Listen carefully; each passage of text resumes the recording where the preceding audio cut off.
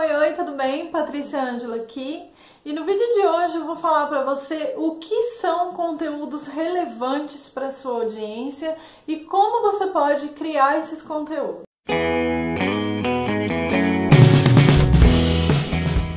Bom, pessoal, antes de começar esse vídeo aqui, se você ainda não é inscrito no canal, clica aqui embaixo em inscrever-se e deixa o sininho ativado aí. Toda vez que eu postar um vídeo novo aqui no canal, o YouTube vai te notificar, tá? Bom, então a maioria das pessoas tem curiosidade e quer saber o que são conteúdos relevantes. Eu mesmo tive essa dúvida quando eu comecei a trabalhar online. Eu pesquisava e via lá as pessoas falando: você tem que criar conteúdos relevantes, conteúdos de qualidade. Aí eu pensava assim: Poxa, mas o que são conteúdos de qualidade? E aqui eu vou te dar aqui dois exemplos, tá? Primeiro, conteúdo de qualidade é quando você aplica o marketing de conteúdo dentro dos seus conteúdos. E isso inclui conteúdos para vídeos, conteúdos em textos, conteúdos conteúdos em áudio, você tem que aplicar o marketing de conteúdo, ou seja, o seu conteúdo ele tem que ter uma sequência lógica. Você tem que começar se apresentando, depois você gera o interesse do possível lead, do possível cliente,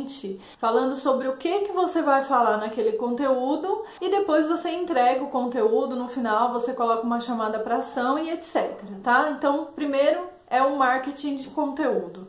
Se você não sabe trabalhar com marketing de conteúdo, você quer aprender a criar conteúdos, a criar o seu blog aí, eu vou deixar um link aqui abaixo na descrição do vídeo de um treinamento que te ensina tudo o que você precisa saber sobre marketing de conteúdo, divulgação e muito mais, tá? Bom, então a segunda forma que eu vou te dizer aqui é o seguinte: é, quando você pensa assim, criar conteúdos relevantes para minha audiência, o que, que significa isso? É você criar conteúdos que a sua audiência quer consumir, que a sua audiência já está procurando. Então basta você fazer o que? Você precisa fazer uma pesquisa a respeito disso e descobrir o que, que a sua audiência está procurando. E como que você vai fazer essa pesquisa? Você pode entrar primeiro no planejador de palavras-chave do Google e lá você pode colocar ali os principais termos da, do seu nicho de mercado e descobrir quais são as pesquisas que as pessoas estão fazendo. É, dentro do planejador de palavras-chave, você vai conseguir saber quais são os termos mais procurados. Então, lá dentro você pode é, descobrir o volume de buscas mensais referentes àquele termo. Segundo, você pode ir no Google mesmo, lá que a gente chama de Google Instante.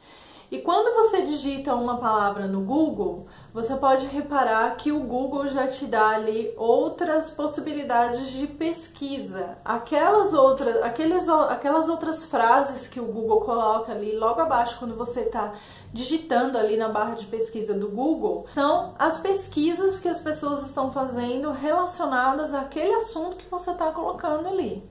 Então ali você já identifica o que, que o público está procurando relacionado àquele assunto. Se você pesquisar, você deu um enter, o Google vai te dar ali uma relação de vários conteúdos a respeito daquele assunto. Você vai até o final da página e lá embaixo você vai ver também várias pesquisas relacionadas àquela pesquisa que você fez no início, tá? Então essa é uma forma bem bacana de você descobrir qual é o tipo de conteúdo que sua audiência está procurando. E você pode também usar aqui uma terceira ferramenta que é o Google Trends. O Google Trends ele te mostra ali o interesse das pessoas por determinado assunto no decorrer dos anos, no decorrer dos meses. Você consegue configurar dentro do Google Trends ali se você quer essa pesquisa só para o Brasil, se você quer essa pesquisa de seis meses para cá, de um ano para cá, ou de até cinco anos, até os dias de hoje. O crescimento do, do interesse naquele assunto ele vai te mostrar um gráfico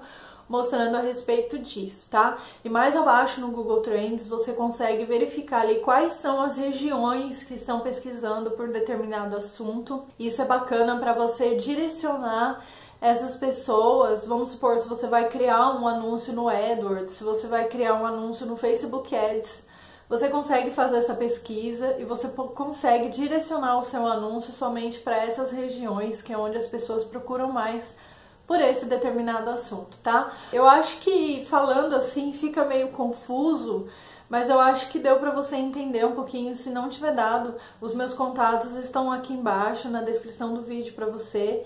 Tem o número do meu WhatsApp aí, você pode entrar em contato comigo que eu explico melhor para você sobre essa coisa de você fazer marketing de conteúdo e de você pesquisar conteúdos relevantes para sua audiência aí, tá bom? Bom, eu espero que esse vídeo tenha sido útil para você. Esse vídeo foi bem curtinho, foi mais para dar uma esclarecida aí sobre isso, tá? Se você gostou, deixa um like aí para mim, tá bom? Não esquece de se inscrever aqui no canal. Se você quer saber como trabalhar online, como pesquisar seu público, identificar a sua persona, eu tô deixando um guia gratuito aqui na descrição para você poder estar tá fazendo download, tá?